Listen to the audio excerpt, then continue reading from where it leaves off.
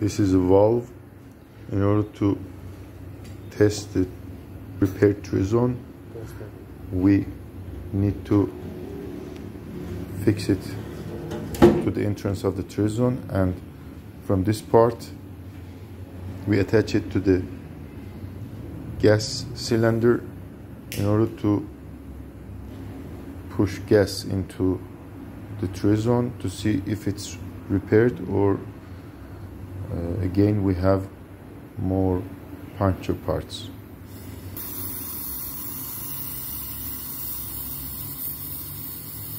Thank you.